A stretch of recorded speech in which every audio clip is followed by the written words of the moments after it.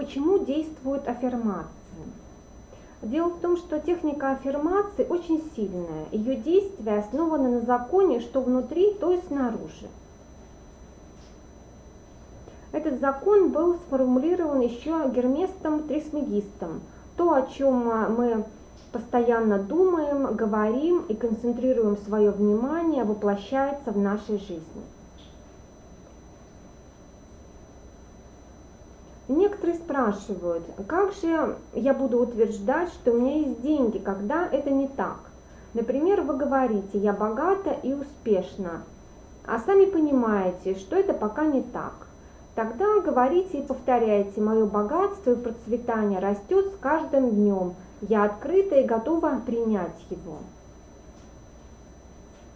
Когда вы начинаете работать с позитивными утверждениями, не удивляйтесь, что ваше подсознание сначала не принимает их. Но говорить и утверждать все равно надо, если, конечно, вы хотите процветания. Многие уже слышали, что это очень действенный метод, но вот найти время и заняться им как-то все не удается. Самый лучший способ – это повторять аффирмации, занимаясь повседневными делами. О чем вы думаете, когда готовите еду, э, идете по делам, принимаете душ, занимаетесь спортом? Какие мысли вас посещают? Вы думаете о проблемах или о новостях, которые услышали утром? Но от этого проблема, тревог и страхов у вас не станет меньше. Задумайтесь над этим, дорогие мои. Выполняя любые действия, будь то приготовление пищи или уборка, поездка в транспорте или прогулка, всегда занимайте свои мысли позитивными утверждениями. Если это войдет у вас в привычку, то энергия процветания и изобилия станет нескончаемой. Она будет постоянно подпитывать и привлекать удачу к вам.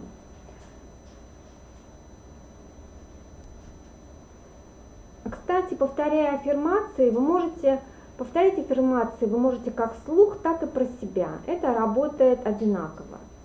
Когда вы регулярно повторяете позитивные утверждения, они начинают творить чудеса в вашей жизни. Происходит гармонизация сознания и процветание становится неотъемлемой частью вашей жизни. Очень важный момент. Когда вы составляете свои позитивные установки, обратите внимание на то, что чтобы утверждение было положительным, без частицы «не» и составлено в настоящем времени. Фраза «я не хочу быть бедным, я хочу привлечь в свою жизнь процветание» не поможет. Лучше говорить так «я богатею, я привлекаю».